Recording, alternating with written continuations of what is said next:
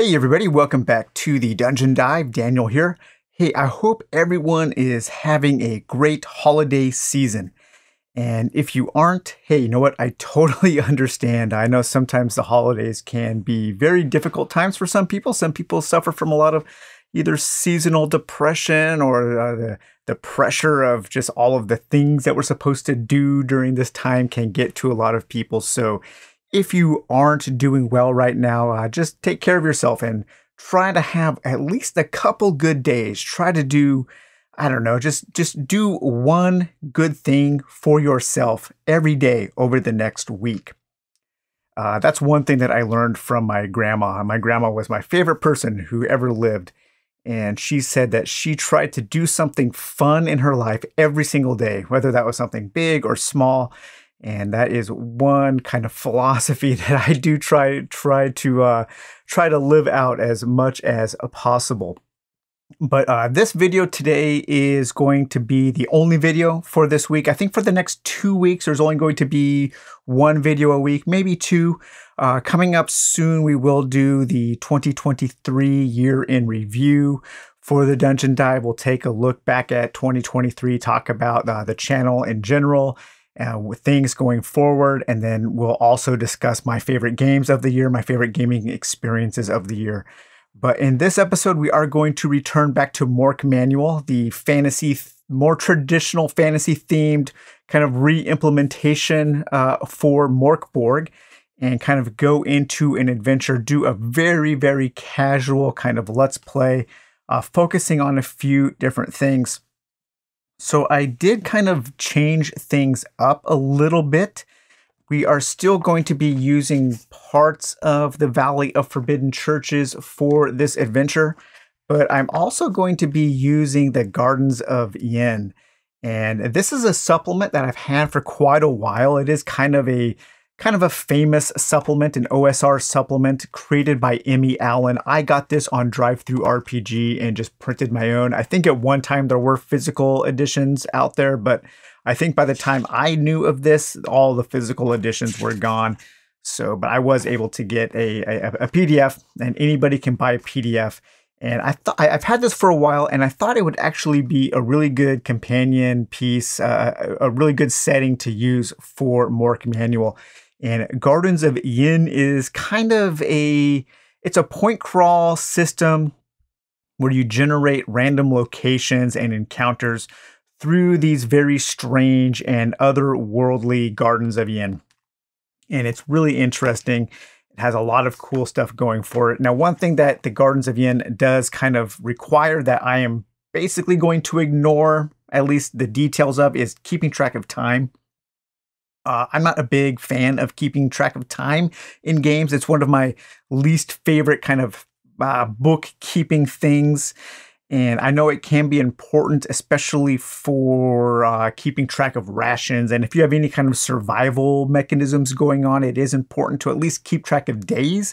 And so we are going to kind of abstract the timekeeping rules of Gardens of Ynn into uh, different periods of a day. And we'll go over that in a minute but I did have a little bit of a backstory written for this adventure. I was trying to think of some some thematic reasons why my character my character Tanner Lee and his vagabond. So he is a he is a fallen. He's a relic finder for the southern sect of the Bog monks, and his companion here is Jambo, and Jambo is a vagabond.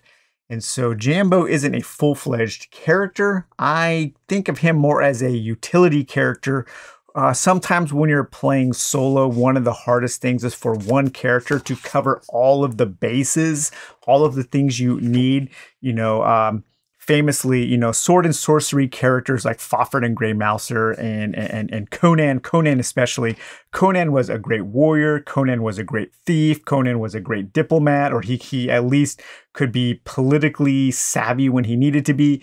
Uh, Conan could basically do everything that he needed to do to overcome the challenges presented to him.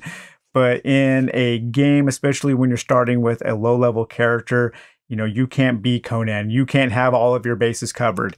And so with a solo character, I often like to play with a utility character, and this character will just kind of help out.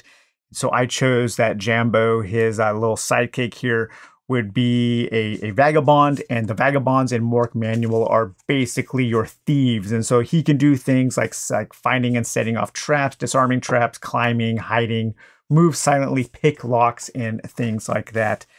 But uh, let me get uh, the little uh, backstory here, and I will read that now. Tanner Lee, fallen, relic hunter, and glorified errand boy for the southern sect of the Bog Monks, along with his vagabond companion Jambo, have royally screwed up. They were tricked, hoodwinked, and made fools of by a local master thief, the great Zago. Zago sabotaged the southern sect of Bog Monks' supply of grum, lacing it with an intensely strong sleeping po- uh, poison, thus knocking out Tanner, Jambo, and the entire sect of Bog Monks. Once all were rendered useless, snoring away, Zago casually walked into the monastery and stole Clark's crown, a purple velvet sack of holding. But what was Clark's crown holding? What was so important? The southern sect of the Bog monks worship an entity known on this plane of existence as Haga Korem. Haga Korem offers to his followers a life in which all of their physical and mental needs are taken care of. Those who follow and worship Haga Korem live a life of relative ease and leisure. All Haga Korem demands is that his followers become soulless.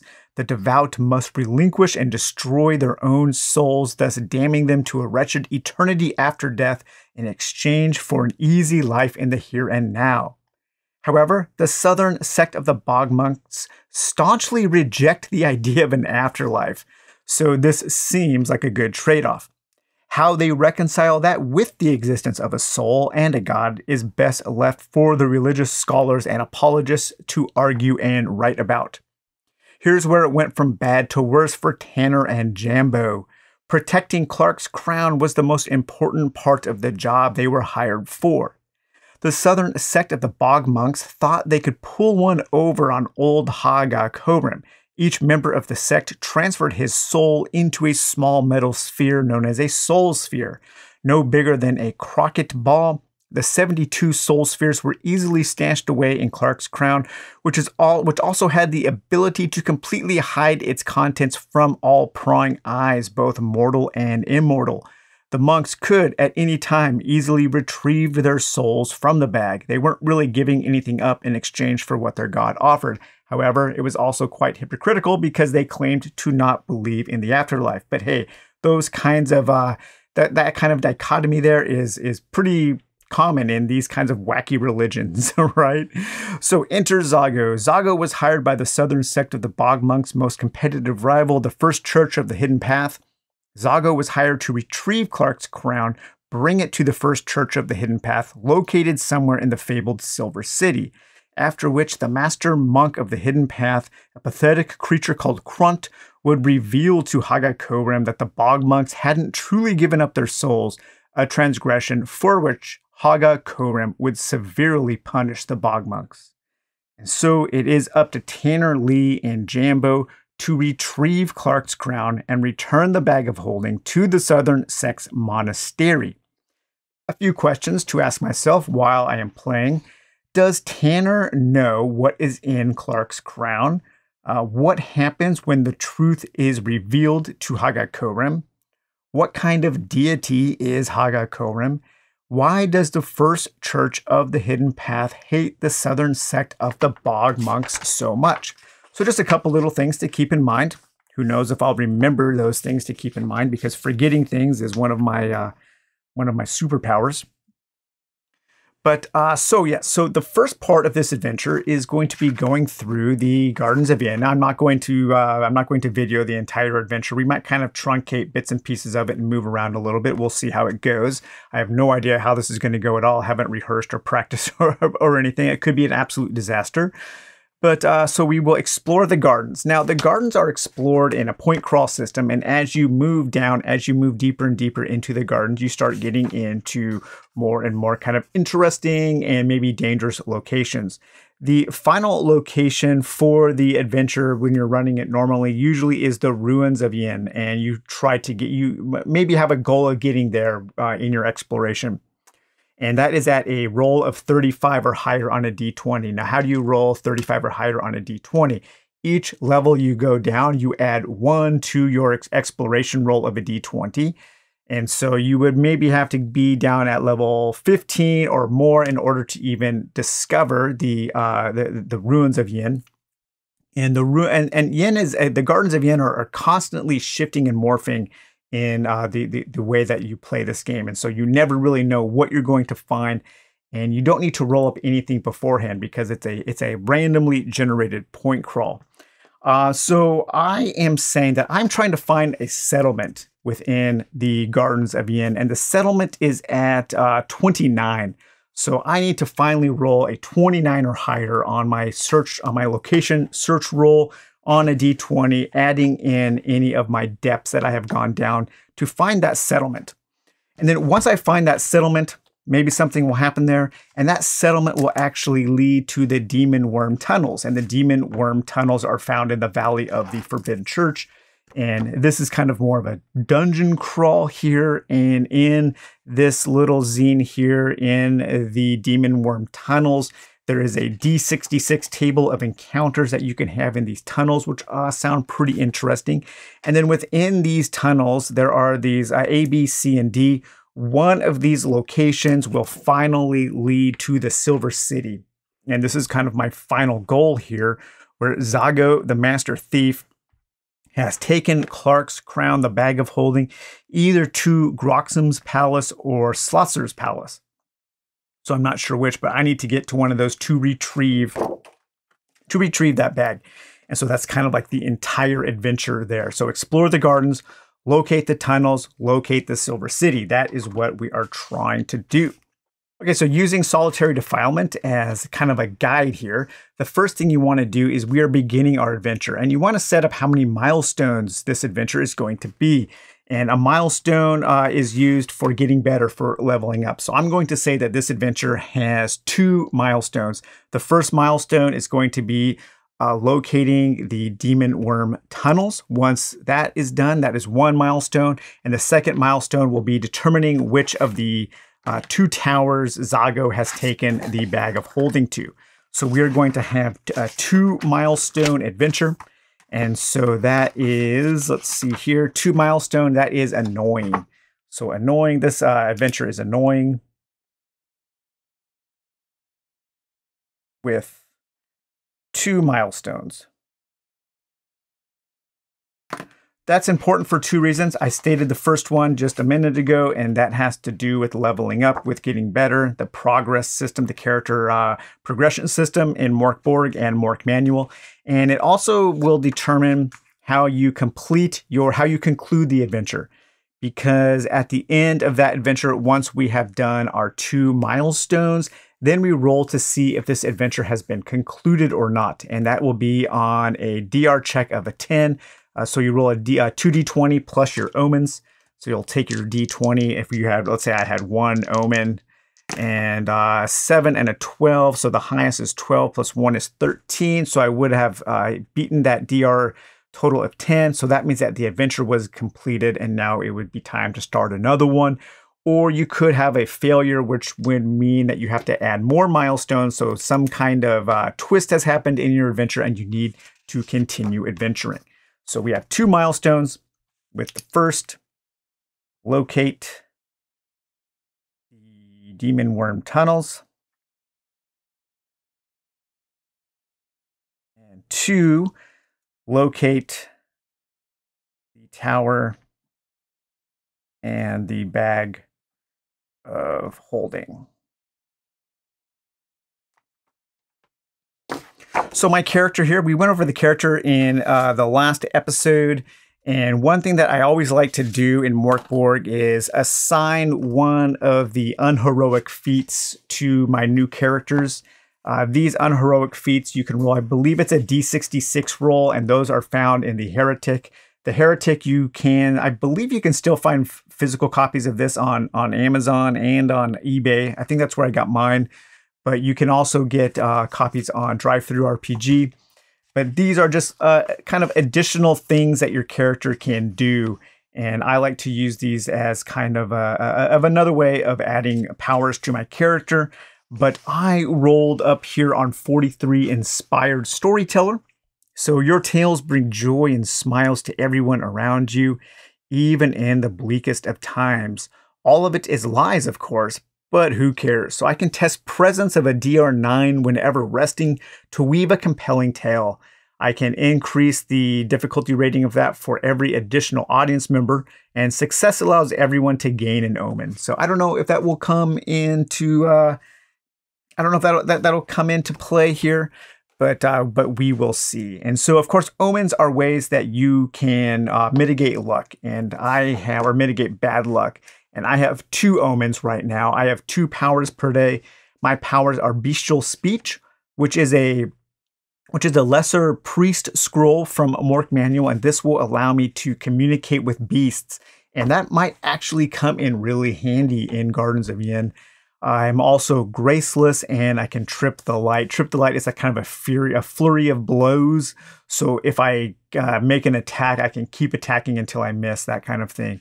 And uh, Graceless, what was Graceless again? Graceless is on page 21 here. Let's see. Graceless is, yeah, at the start of combat, I can expend a power and make the first attack. So I can kind of ignore initiative. So that's one thing that I can do here. Okay, let's see. I also wanted to show you guys uh, some dice that a company called, what were they called? Uh, they were called Gatekeeper Games. So Gatekeeper Games sent me some GM dice that are really cool. And I wanted to feature those uh, real quick before we get going here. And I think these are pretty handy. A lot of people might really like these, especially for solo play. They're not specifically made for solo play, but I think they're pretty good. So you have a number of different dice here, and they're kind of paired off. But we have uh, dice where you can roll up your weather. And so we'll be using this every day within the Gardens of Ynn. We'll roll up for different weather. Weather is pretty mild in the Gardens of Ynn, but it's also unpredictable. And so we can use this. So you have everything from bright and overcast, stormy, sunny, fair, and so on. Really cool. We also have a die here to determine NPC, uh, reaction NPC, kind of how they will react to you when you come across them. They can be benevolent, welcoming, pleasant, busy, available, uh, miserable, angry, uninterested. A really nice die there. I like this one quite a bit. So these 2d12 dice here are good for dungeon crawling. We have a loot die. So if you need to determine what kind of loot you have found, everything from, from a hoard where you can roll uh, three times on a loot chart, a medium loot, medium loot, a chest, you can roll twice, uh, large loot. So a cool d12 there. Uh, this d12 is a trap die. And so you can roll everything from no trap to a snare trap, poison trap, sonic, uh, lightning, fire, cold, crush. So really cool uh, trap die. And then we also have this die, uh, these pairings here, which are for encounters. So you can easily roll up how difficult your encounter is from something being easy to hard to no encounter to uh, uh, finding different persons and then also you can roll up what they how they react to uh, your presence. They can maybe try to avoid you. They might try to attack you. Uh, maybe they try they're unaware or they are uh, an ambush attack a surprise attack un unresponsive uninterested i should say or maybe they are attacking. So you can roll those together to have no encounter. All right so no encounter or you can have a medium difficult encounter and they are going to attack us outright. So those might come in handy. We also have a critical hit die here, which uh, the critical hit die has all different kinds of things where you can damage their weapon. Uh, this is you can dismember a part of their body, uh, location numbered, so a or numbed, I should say, where you can roll up on a location die and then that location gets numbed. Now you can stun them. You can apply minor penalties, so all kinds of different things for different types of uh, critical hits. And then finally, we have these location dice for attacking. So this is for humanoids, so head, arms, legs, uh, torso, and then also uh, special there. And then we also have a location die for beasts, and these are like kind of maybe more like quadrupeds, where you have torso, necks, uh, arms, tails, and so on. And then if you want to get even more granular, this D10 here will tell you uh, where on that location it hits, if it's lower or upper or central. So if you just needed something to, to come up with a random location, you could roll these dice. So yeah, these are pretty cool. I like them. They're really chunky and really well-made dice. They feel they feel really good. They feel really really hefty. So if you're looking for some good hefty dice to maybe roll up some random things, you might want to check into those GM assist dice from uh, from Gatekeeper Games.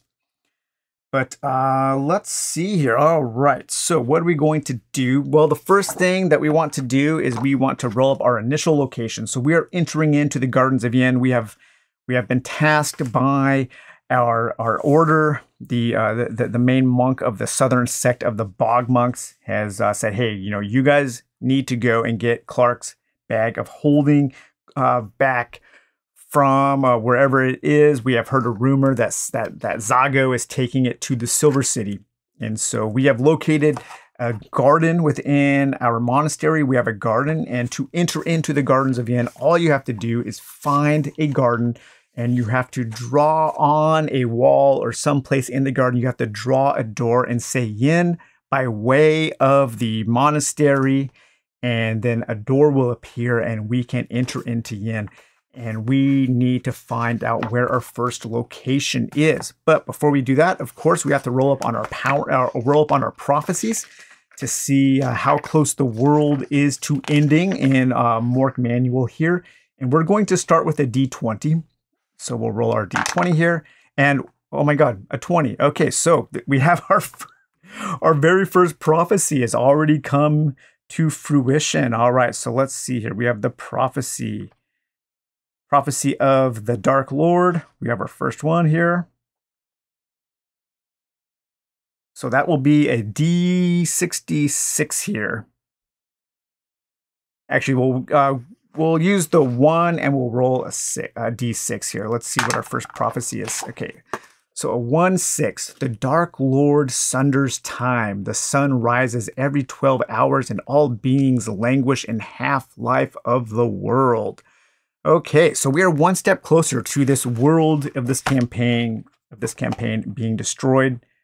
We have one, two, three, four, five, six, and then seven. And one was one, six, and that was on a D20. So our next roll will be on a D12. Okay. I'm also using, I don't like keeping track of individual rations and lantern and water and so on. So I'm using a usage die system, starting with a D8 for rations, a D6 for my lantern, and a D6 for uh, Jambo's torch, as well as my water skin on a D6. But I am playing uh, the upper two values. So if we roll a 7 and an 8, a 5 or a 6, then we will go down to the next uh, die. So the D8 will descend down to a D6, then a D4, the D6 down to a D4, and so on. And then we will have to take some time within the gardens to search for some supplies. The nice thing about the Gardens of Ynn is that it is pretty easy to find the kinds of supplies you need. It is a verdant area. There's lots of greenery, lots of water. Uh, these gardens, while somewhat deserted they also are overgrown and there's a lot of there's a lot of of life maybe not sentient life maybe not intelligent life but a lot of life within the gardens of Ynn. So let's all roll up and see where we enter into the gardens of Ynn on this first excursion. So when you enter into a location you have three choices. You can stay in that location you can go deeper or you can go back and uh, going deeper or going back takes an exploration turn, and a turn is about 10 minutes.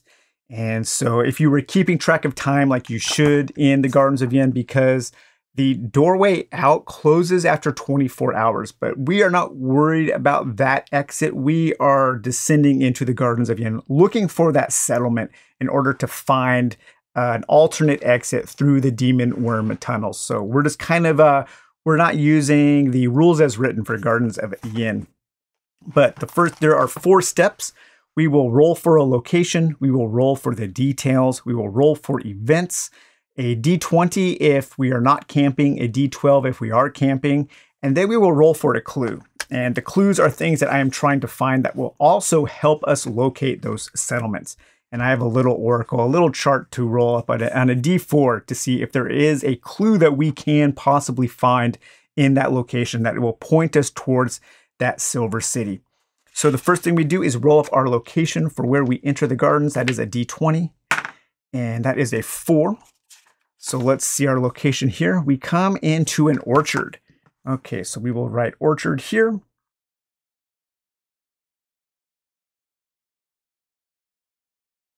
So this is at level zero. And let's see what the weather is like here and within the orchard when we enter the Gardens of Ynn. It's a nice sunny day. Okay, so sunny. So the uh, days here we will separate into four different. So a day is actually 48 hours within the Gardens of Ynn, and we're going to separate that into four phases. We are exploring during the day, and then we have a camp and survival uh, phase, and then we are exploring at night with a camp and survival phase, and then back to number one, back to exploring during the day. And when we come back to number one, we have to eat one of our rations. So we have started this first day where we need to eat one of our rations. So let's roll our usage die on a d8 to see if our rations go down. And it is a four. So we have plenty of rations. So we eat for the day. And so we are okay. And I'm saying that during each exploration phase, I can explore about six locations, maybe four to six locations, depending on how detailed they get.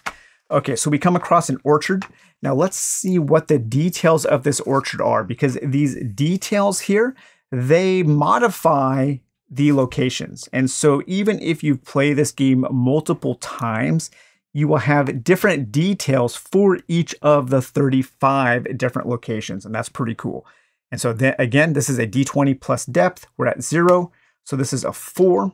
And so we find that they are well maintained. Okay, so let's read about our orchards. Now, one of the main criticisms, maybe the only criticism I have of Gardens of Ynn, because this is mostly a fantastic point crawl system, lots of great detail, lots of awesome things, but it is a little cumbersome to use because it doesn't give you the page numbers for your locations or your details or even your bestiary at, on the charts that you are rolling. You have to go back to your table of contents to find those uh, locations where they are in the book. And what's worse is once you get to the locations section or the details section or the bestiary section, the uh, the various locations, the various details aren't in alphabetical order. So it makes finding what you're looking for a little more difficult than it needs to be. But the orchard was right at top here. So here we have our orchard.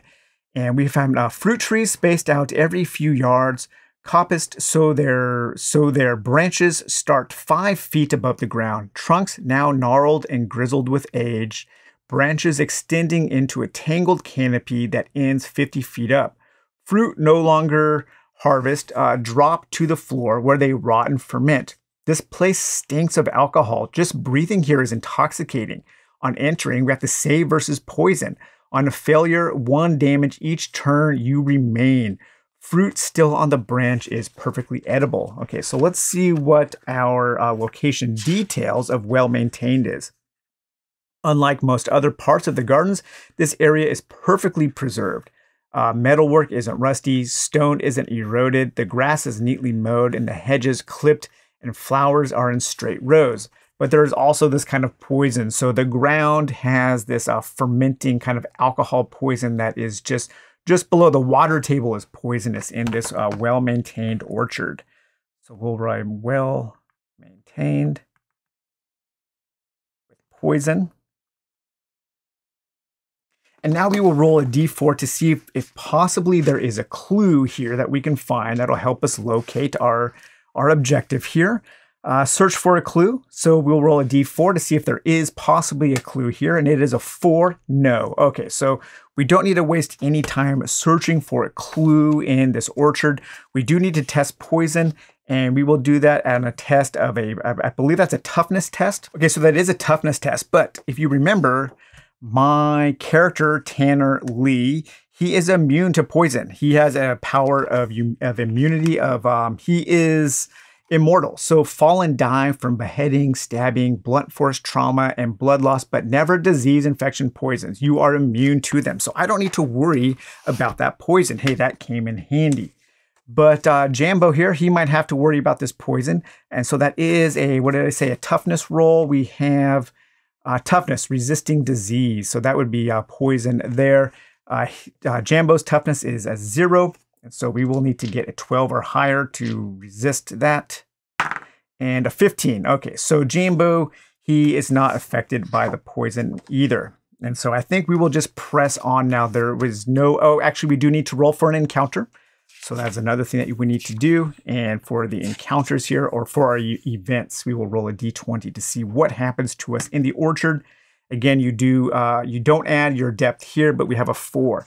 Uh, something turns up. It's merely curious. Roll for an encounter. Okay, so what do we find here? We're going to add our depth, which is zero. That is an 18. A walking topiary. Okay, so some kind of a walking tree is walking around this orchard. It is merely interested. It maybe uh, appear, approaches us. It's not hostile, and we are just going to ignore it, and we are going to uh, continue moving on. We are going to move deeper, and so to move deeper into the Gardens of Ynn, we will draw a line here, and let's see what we have now. So now we are at level one, so we're going to add one to our d20. Okay, a three, so a four. So that is, again, another orchard. So this orchard just continues here. So this is a continuing orchard. The orchard continues. But now let's see if it has a different kind of detail here. An 18. Okay, so the 18 here. It's a glass roofed orchard. Okay, so let's look up glass roofed. Where is that uh, details? Glass roofed, okay, around page 38. I really wish it would have uh, put the page numbers on those charts. It would it would have been just much easier. Maybe I should just go in there and add them. But okay, glass roofed. The whole location is inside a single giant glass house. Okay, so this is kind of a hot house here, glass house. And uh, the climate is slightly warmer and more humid than normal. It's misty and stifling. You're protected from outside weather. One in three encounters here will be with the myconid composters at night or the rose maidens during the day. Uh, they have settlements here. So we have these, uh, so we are during the day. Let's say a one in three. So a one, two, or three are the rose maidens. Three, okay. So we have, we come across a rose maiden, a rose maiden settlement. Okay, so what's up with this uh, rose maidens here? Let's find the rose maidens. All right, so bestiary here, rose maidens, page 54. As a dryad is to a tree, these creatures are to beds of roses. So these uh, rose maidens, maybe they have started planting their roses in this uh, glass house where these where this orchard is. Uh, one thing we should do is roll for our poison. Tanner Lee doesn't need to worry about it. Jambo needs to get a 12 or higher on a D12 or D20, and no. So he takes one point of damage here from the poison. I should use a pencil. So we definitely don't want to hang out here, but let's see if the Rose Maidens will um, allow us what is their disposition towards us? Let's uh, roll this die here and see. Amiable. Okay, so the Rose Maidens are just kind of going uh, along with their job. They are planting and tending to their roses. Uh, the Rose Maidens can walk about on their roots, so these are kind of like uh, they're they're kind of made out of topia, out of trees or out of a shrubbery. Uh, they talk in high, soft voices, where the human voice is a cello, a Rose Maiden's is a flute.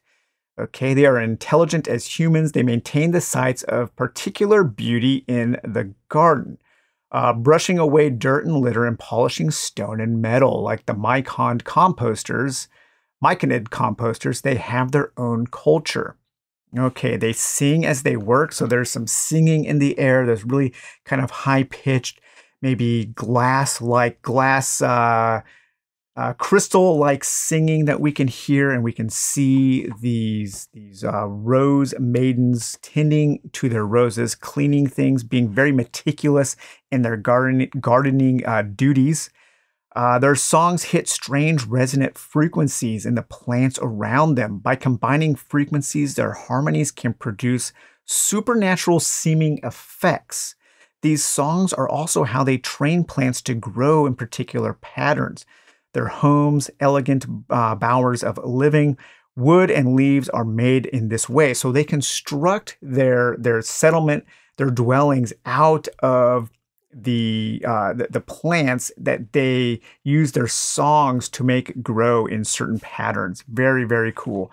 I wonder if we can find out a little bit more about uh, about these. Let's see here. Um, let's roll up on let's roll up on the horticultural and unusual floral styles of this little settlement of rose maidens. And so we have a D20, so a 5 and an 11, a 5. So they are tending to flower beds and there's a lot of moss. So they have these mossy, moss covered dwellings made from flower beds. So maybe we can approach them. They are amiable. We can approach them and uh, maybe we can uh, ask them if they're if they know of anything of the Silver City, if they have heard. Maybe they saw Zago coming through here, and uh, they might be able to help us. And we might get a bonus on trying maybe trying to find a clue. And so let's do a presence test. And I'm pretty good at uh, at communication.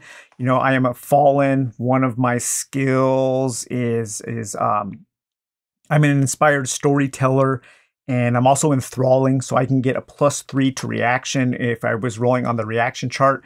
So I'm going to give myself advantage on this. And we are doing a DR12 presence test to see how our how our communication goes with the Rose Maidens here. And okay, so an 18. All right, so or 16. So I talked to them and I expressed my concern that I'm trying to find this thief who might have come through here. Uh, they said that maybe they heard a rumor about a thief coming in, and uh, that will give us, let's say, that'll give us a plus one on our clue roll here. So we'll roll our d4 and a three, actually a minus one because I somehow made one the good. So that way, that's a two here on our on I need to I should probably switch those uh, around but um, a three so it's one better so a two so yes there is a clue here but uh, but it is being uh, the the the the plants have grown around the clue.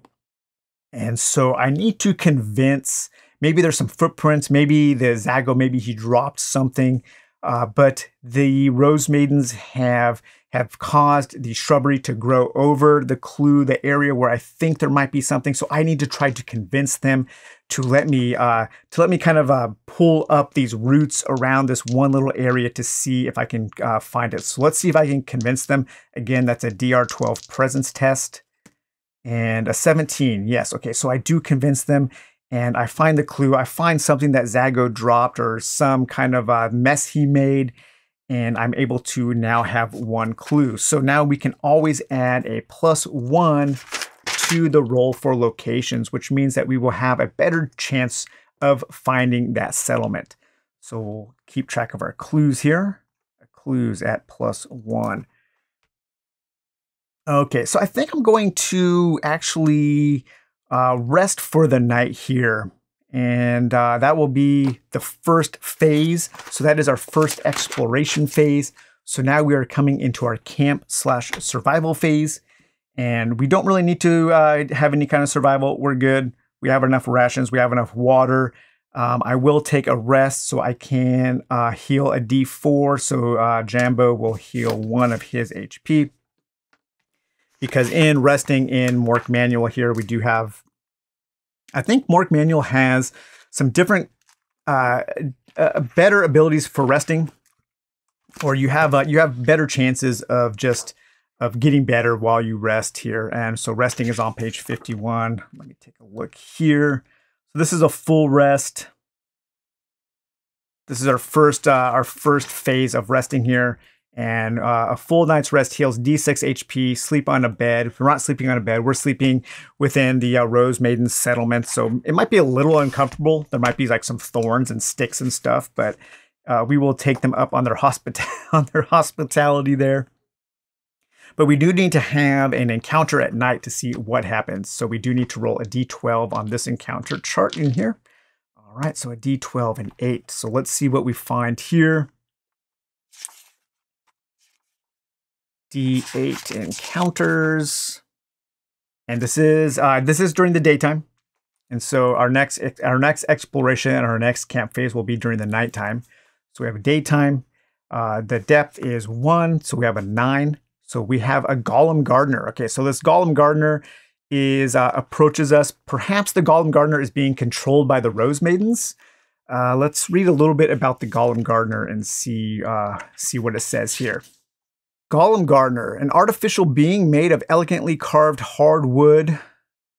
Wood joined together, lacquered and polished, makes a soft clicking of wood on wood when it moves. Dedicated to maintaining the garden, plants, trees, prunes, weeds, dredges, ponds, uh, displays a tender care for the plants, insects, and birds it looks after. A gentle giant, almost maternal in its nurturing implacable in its cold fury against anything that would harm the gardens, does not speak, simply moves weeds and uh, simply removes weeds and vermin. So we got permission from the Rose Maidens to to pull up those roots to find that clue. And so I would say I would play this that the Golem Gardener is working for the maidens. They they the Rose Maidens themselves have made the uh, have made the the golem to do their bidding and so we do not need to worry about it attacking us. We are under the protection of the Rose Maidens in their settlement for this uh, for this evening. Okay, so now we can go on to our nighttime exploration phase. So I I played this where this was one location, and then this location because we were with the Rose Maidens for some time. We were looking for a clue. Uh, that that would take up the entire uh, the first exploration phase. I'm just kind of playing it playing it loose with time here. But our next location, we will continue to go deeper. So now we are going to add two. So this is level one and level two. So let's see what location we have here. 11. Okay, so 11. So we're adding two. So that's 13. We find a glass. Oops, wrong chart there. Location 13. The kennels. Okay, so some canine creatures probably. So we have our kennels. We'll add two for the details. Two, uh, four, well maintained. I'm going to roll something different because we've already had that. Um, 15 plus 2 is 17. They are singing. So there's singing in the kennels. So let's look up our kennels here. Little wooden shacks that once housed various beasts and birds of the garden, now abandoned and falling to ruin. Roll twice for events each turn here. Things still knows about. Okay, so we need to roll two events. We'll roll two events here. It's a little uh, reminder there. And now, what, what was the detail? The detail was singing. Uh, 15 was 17 here. So singing on the details page 38. Yeah, I really need to go in. I need to go in and write in the page numbers for all of these because uh, I'm really surprised that the actual details aren't in alphabetical order. It just seems like a real missed opportunity. It seems like just because, especially because this is meant to be played on the fly. The GM is meant to be rolling these, not planning anything. And so having to stop to look things up every single time is kind of annoying. But singing, okay, so musical Music filters through the area softly, like droning church organs, whale song, uh, theremins attempting Gregorian chants. The source is a set of gold tubes, six inches thick. So we have these gold tubes emitting this kind of a uh, singing here. Okay, so gold tube singing, gold tubes singing. All right, so listening to the music promises to grant the listener Ynnian insight, although filtered through synthetic psychedelia. Each turn spent doing nothing but listen allows the listener to ask the GM a single question. The GM rolls a d10 to determine the list of possible answers and then picks the most appropriate one. Okay, so I will spend this turn singing and then we will roll for two events. So I am going to uh, kind of ponder asking the GM, asking the universe, asking the question of the singing voices Am I on the right path to the Silver City? And now let's roll a d10. Okay, a three. We have wind, rain, snow, sunshine, thunder, fog, and clouds. Okay, so that sounds pretty ominous. And so I would interpret that as our way is colluded by uh, sunshine is i'm going to say it, the most most of things are, are, are, pretty bad wind rain thunder fog clouds those are things that can um, they can stymie travel. They can be a hardship during travel. And so I am not on the, the right path. And so the singing voices tell me that I need to go back to the orchards and then continue from the orchards to another area on level two. The way I am on now is a dead end. And so that is kind of my clue. And I forgot I did have a clue. So I actually should have added a plus one to that roll. We're not going to worry about it. I've already written all of this stuff there we will remember to do that on the next. Uh, I should have my clues written on this map sheet so I don't forget them. Clues. One. So that's going to be a plus one to our roll there, our location roll. All right, so we're good there. We'll just keep playing like that. So we do have our kennels. We do have this singing, this sing song golden uh, coming, this noise coming from these golden tubes, this synthetic noise but we do need to roll twice on our events. So let's roll our first event here. Four. Something turns up, it's merely curious, roll for an encounter. So let's see what kind of encounter here. This is just a curious encounter, something strolling through. A 19 plus 2 is a 21. Um, we have a choir of 2d4 rose maidens. Oh, this is cool. Okay, so a choir of rose maidens. So these rose maidens here, they heard the sing song noise coming from these golden tubes. And the choir came down here to join in the song of the Garden of Ynn. And so we are being treated to this great kind of performance of these uh, this synthetic noise accompanied by these flute like voices of the Rose Maidens. It's a really beautiful sight. And let's see what a choir is. I don't know if a choir has a different uh, entry.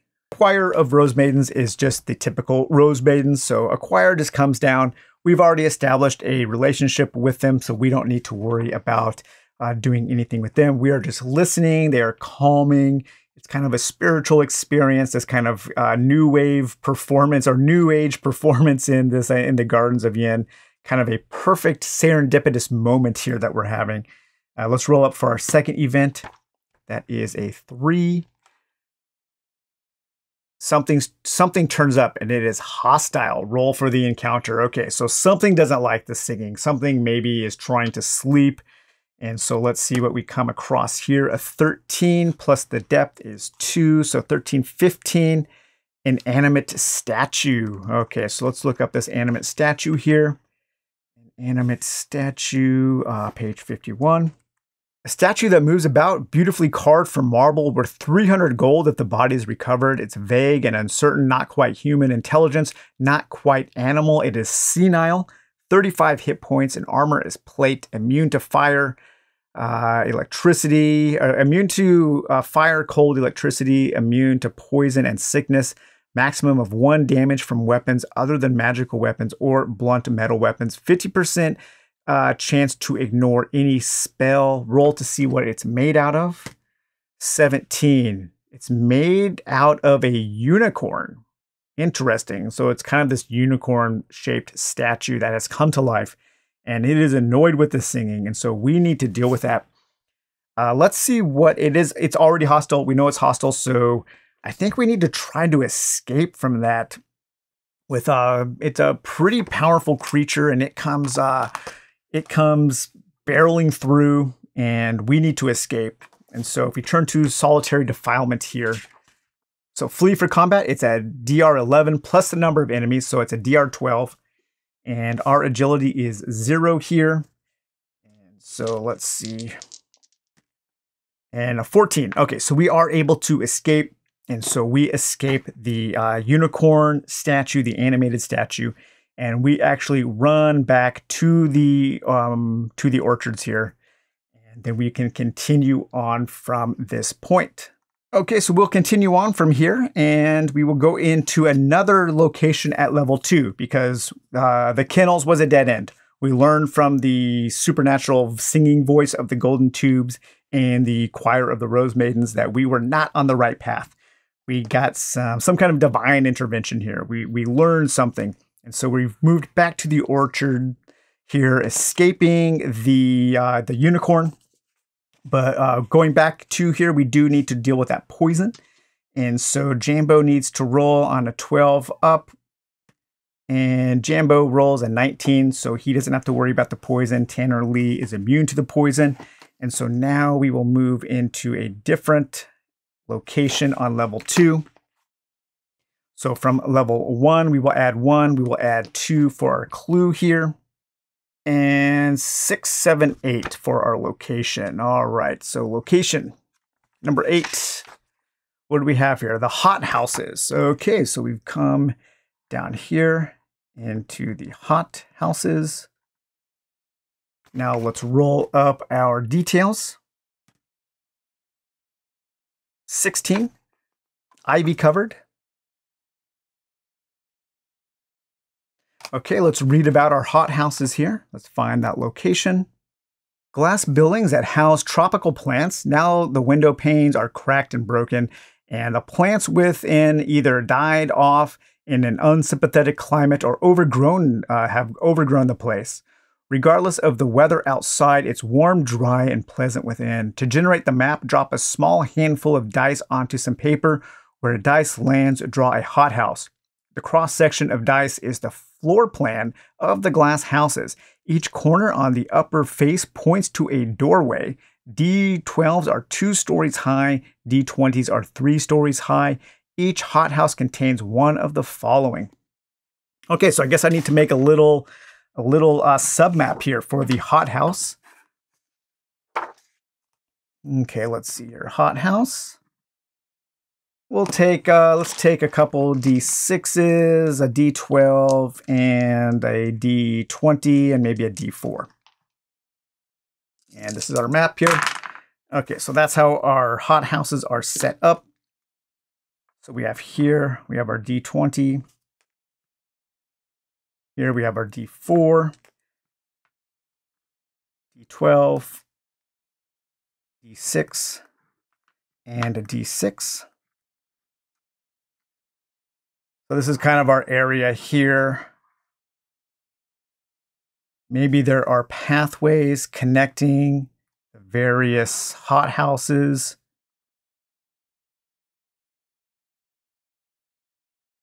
Like so.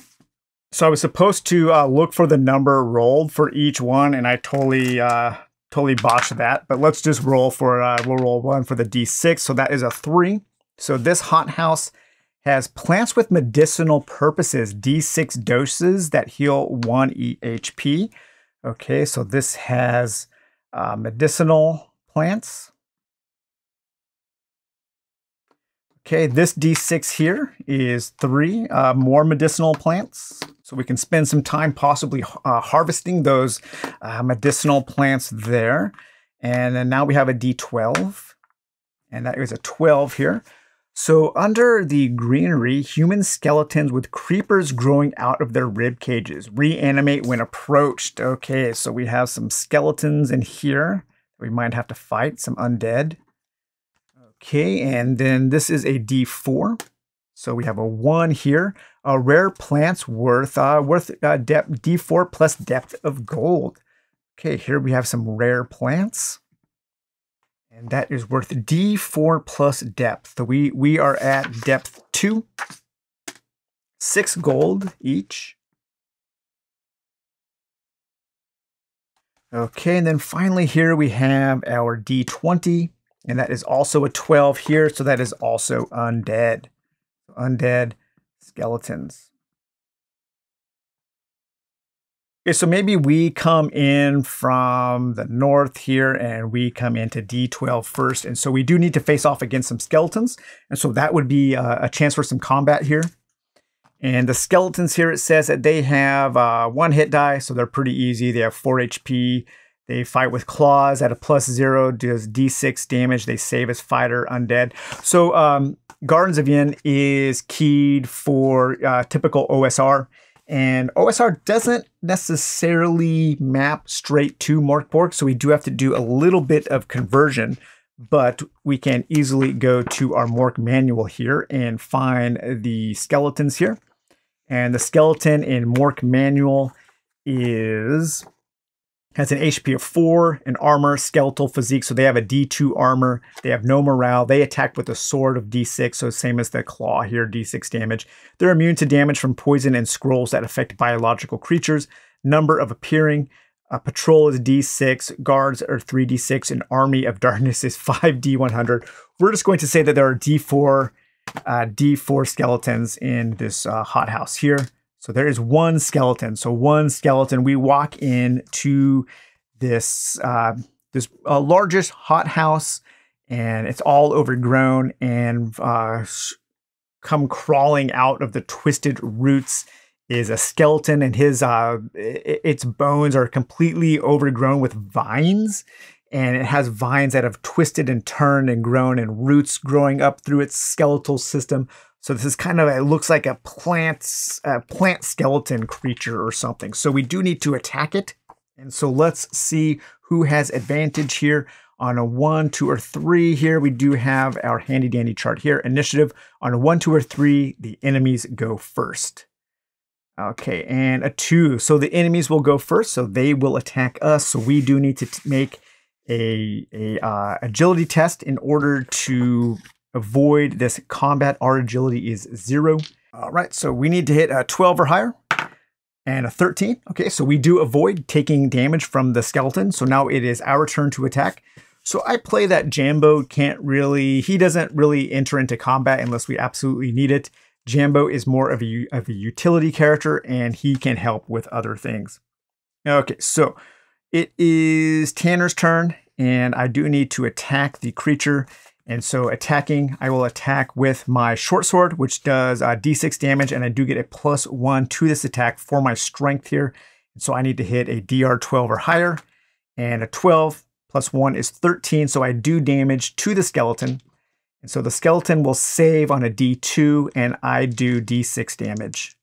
So I do six damage, it saves for one, so I do enough damage to outright kill the skeleton. All right, treasure, none. Okay, so no treasure there. So we do kill that skeleton. And then from here, we will move over to here to uh, harvest some of these medicinal plants. And let's see if I even know how to harvest them without damaging them because these are kind of alien plants to me. I am not a gardener. I don't know what's going on. I might pull these berries off or whatever and actually damage them.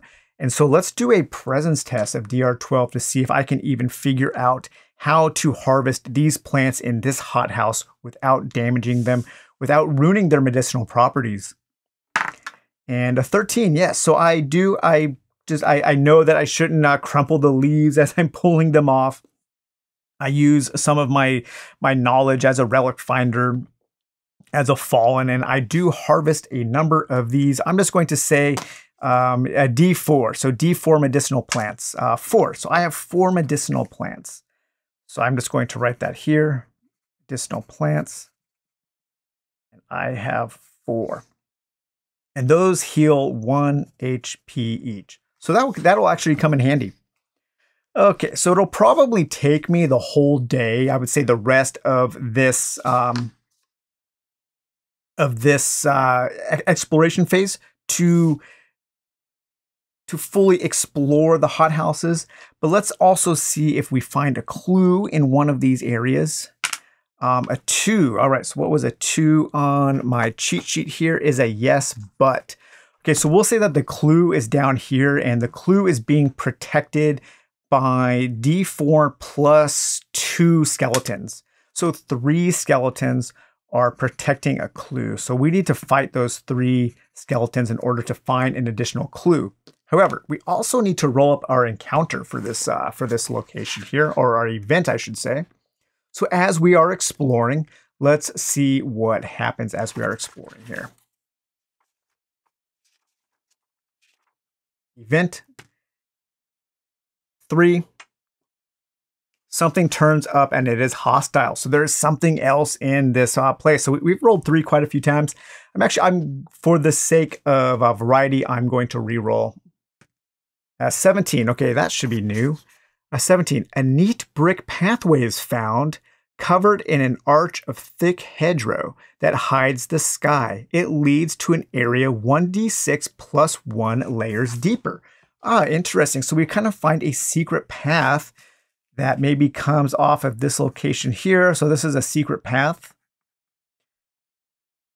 Secret path. And this leads to a place that is 1d6 plus 1. Is that what that was? 1d6 plus 1. So this leads to a place that is 6 deeper. So that would actually, so since this is uh, 2, this would lead to a place that we will add 6 to when we go. So we will, if we uh, explore off of that hidden path, we will actually go to like a D8 or D9. We're adding 9 to our location. So that would be pretty cool. All right, so that's kind of how Gardens of Ynn works. And I would continue exploring until I finally found that settlement. But let's say I did find the settlement and we're just kind of fast forwarding here because I do want to keep this all in, in, in one in one episode here. And so we find the settlement and we find the demon worm tunnels here. And so now we can descend into the demon worm tunnels. And I'm just going to uh, kind of show how I would play that out um, a little on the more simple side than the Gardens of Ynn, not as much looking stuff up. Uh, basically, I would say that I would come into uh, this point here.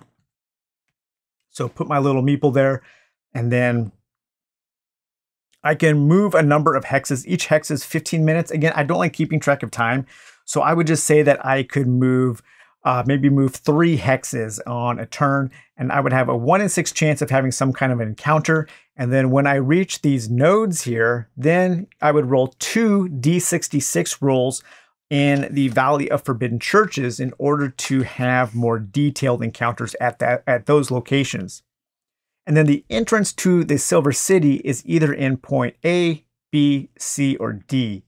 And depending, I would roll on A, I would probably roll a D6. And if I rolled a 1, then I would find it here, if I roll the two, actually, let's just do a D4. If I come to point A, or the first point will be a one, nope, I didn't find it. The second point would be a one or two, three or four, and then so on. And so the final point, if I didn't uh, discover the entrance into the secret city before, would be the entrance into the silver city, I should say. Did I say secret city?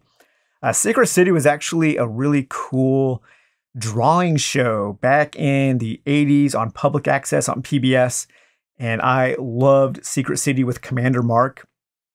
Man, his mural that he drew with all kinds of weird creatures and inhabitants and and weird alien landscapes and waterfalls and Martians. I love that stuff so much. I used to watch uh, Secret. I used to watch Secret City all the time. But let's do an example turn here. So let's say I'm in the Demon Worm Tunnels and I can move three. So one, two, three. I'll just move down here to this node here. First of all, let's see if I have an encounter on a one to a six, on a one. Nope, okay. But now I am at a node here. And so on the nodes, you do want to roll up two D66s to see what you have encountered in the demon worm tunnels. Okay, so our first encounter here, we'll do uh, pink as tens. So 34. All right, 34. This is an unstable tunnel. Loud noise will cause rocks to fall from the ceiling, affecting D2 random characters. Test agility DR10 or take D12 damage. If this happens, the path forward is blocked. Okay, so we need to be quiet. So hopefully we don't have any kind of, uh, of combat encounter here. If we have some kind of combat encounter, that could cause the tunnels to collapse here. All right, so let's see what our second encounter here is. Uh, 16. Okay, uh, the room's floor has a steep slope, scaling it with uh, without sliding down. Uh, taking D3 damage requires a DR10 strength or agility test unless you use rope or other climbing equipment. Okay, so Jambo is going to take his uh, rope. He's got this hemp rope and he will kind of tie it off.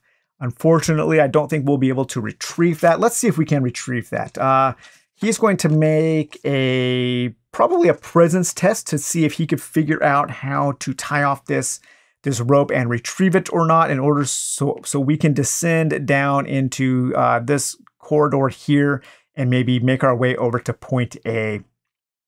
All right, so let's see. Uh, a two, no. So we do not know how to retrieve the rope, but he does know how to set it up.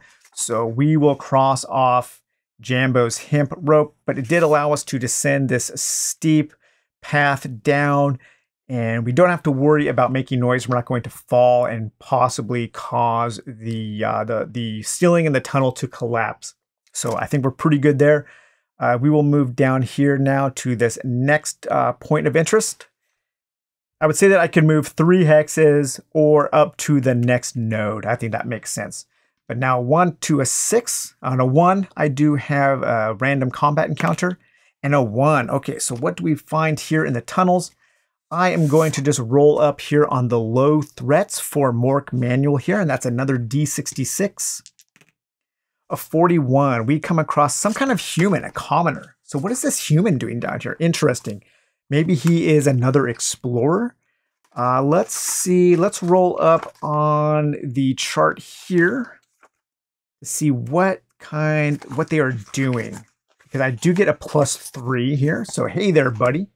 I get a plus three because of my enthralling personality. That's going to be a 2d6, uh, 2, 3, a 6. Uh, meh, we're neutral. Okay, so the human commoner is neutral, but let's see what he's all about here. Let's see, human, human commoner, 110. Uh, so nice when uh, books have page numbers that you that uh, that list what you're trying to find. Okay, 110. Human commoner, number appearing, just, just one, the destitute and downtrodden masses. So maybe this is somebody that got lost down here. Uh, what is their uh, personality? Uh, they're angry because they're lost. And uh, maybe we can help them. Maybe we can point them into the direction of the entrance, but then they would be lost in the Gardens of Ynn.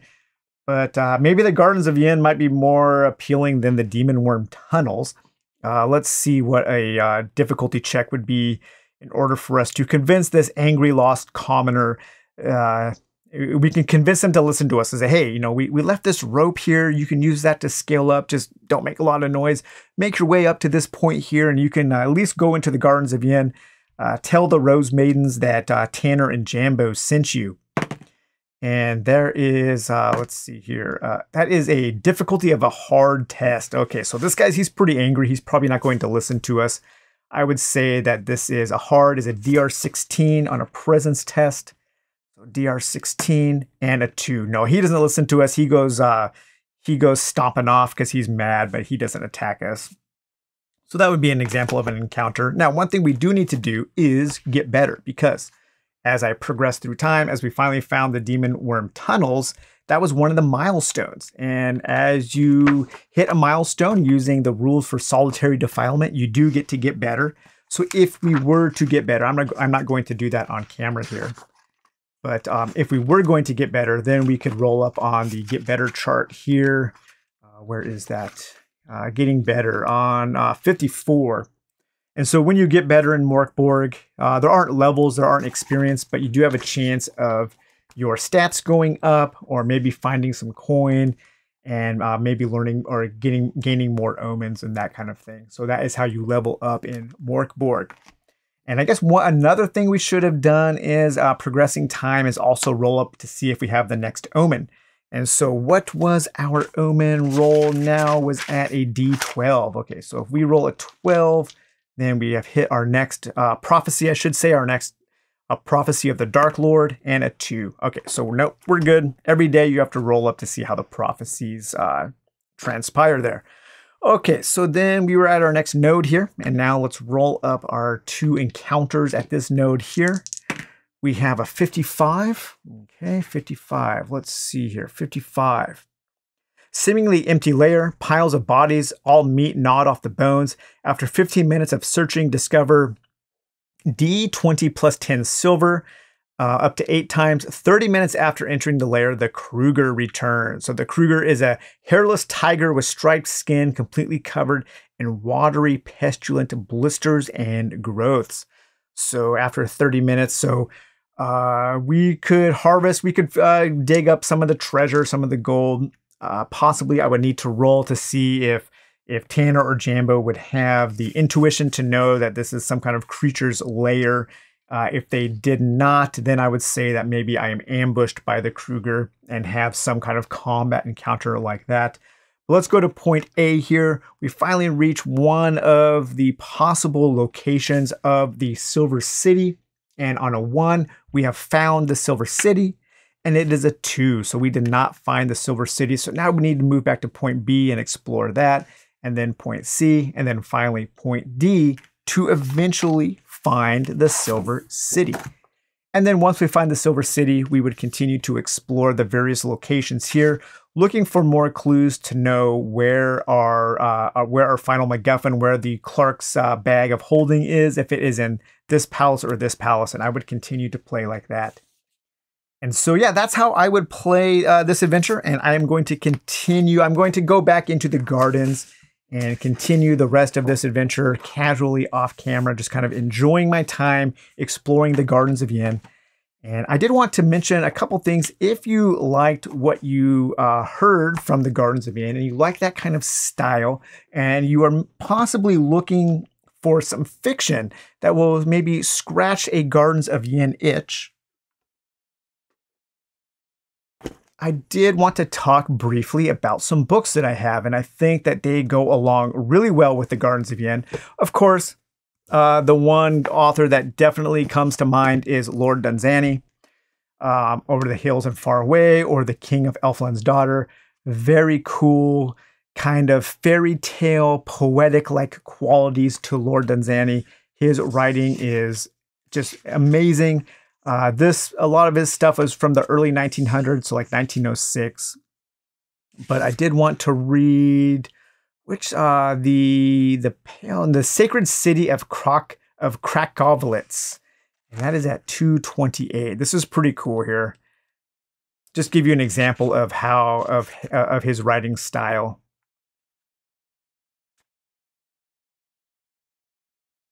So this is one of the um, Ballantine adult fantasies here, edited by uh, edited by Lin Carter.